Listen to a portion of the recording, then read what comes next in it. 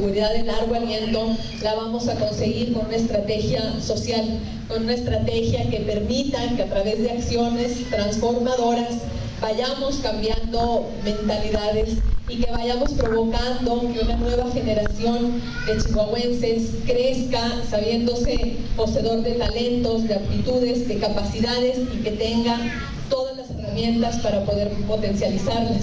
Y aquí hay algunos niños como en otras reuniones en las que hemos estado, y yo siempre he dicho que aquí, aquí entre nosotros están seguramente los medallistas olímpicos de mañana, los campeones de las disciplinas que ustedes quieran, seguramente están los boxeadores, los futbolistas, eh, los basquetbolistas, lo que ustedes quieran, o los grandes artistas también del mañana, los escritores, los escultores, los pintores.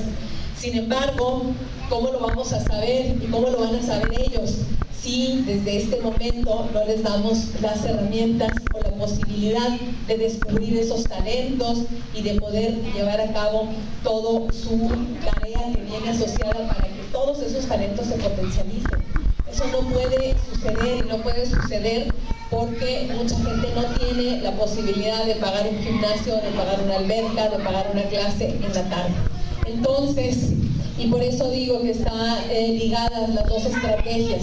Hay mucha información que están generando organismos ciudadanos donde nos dicen con toda claridad en un mapa de Chihuahua en donde hay, donde viven quienes están cometiendo delitos. ¿Y dónde viven? Bueno, pues donde hay mayores índices de deserción escolar, donde ah, hay violencia familiar, donde hay consumo de excesivo de alcohol y drogas, y donde hay carencia de servicios públicos. Entonces ahí justamente es donde tenemos que llevar en primerísimo lugar todas estas acciones que transformen y que cambien vidas. Y particularmente estamos proponiendo construir tres gimnasios con alberca totalmente equipados en estas zonas para, que, para ir cambiando vidas y provocar este cambio de mentalidad. Por una parte,